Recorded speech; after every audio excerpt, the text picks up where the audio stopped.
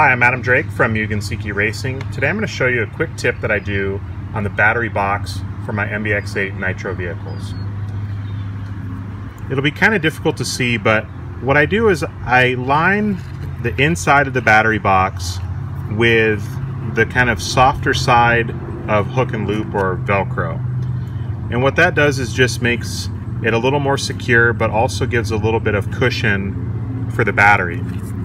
So the battery will still fit in here really nice. It's not super tight, but it just kind of helps cushion it on a hard impact or landing. Then I go ahead and put a little bit of Velcro on the battery as well as on the lid, the inside of the lid.